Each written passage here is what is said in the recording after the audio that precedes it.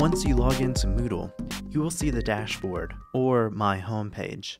The blocks on the left and right sidebars provide access to various features available in Moodle, such as messaging and the calendar, while the center column lists all courses in which you are currently enrolled.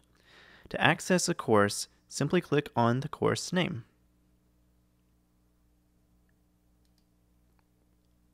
By default, all faculty and staff are enrolled in the Student Lounge and the Faculty and Staff Lounge. The Faculty and Staff Lounge provides Moodle, distance education, and general institutional resources, as well as a forum to interact with other faculty and staff at Black River Technical College. At the top of the screen, there are links that track where you are in the Moodle site.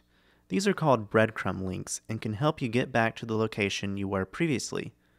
To get back to the My Home page, simply click My Home.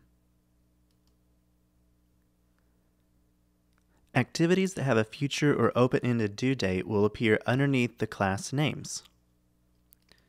These can be clicked to reveal the specific individual activities in the class, displaying information and allowing quick access to those activities.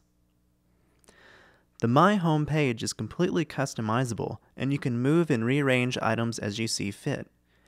As you are enrolled in more and more classes, you will likely want to move commonly accessed classes, such as the classes you are teaching in the current semester, to the top. To do this, click the Customize this page button in the top right.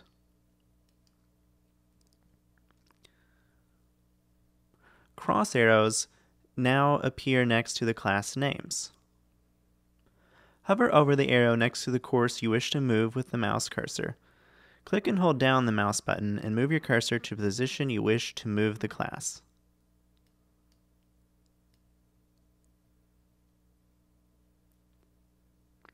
Moodle will create a shadow box letting you know where the class will be if you release the mouse button. Once the shadow is in the desired new location, release the mouse button. When you are finished rearranging the classes, click the Stop Customizing this page button in the top right.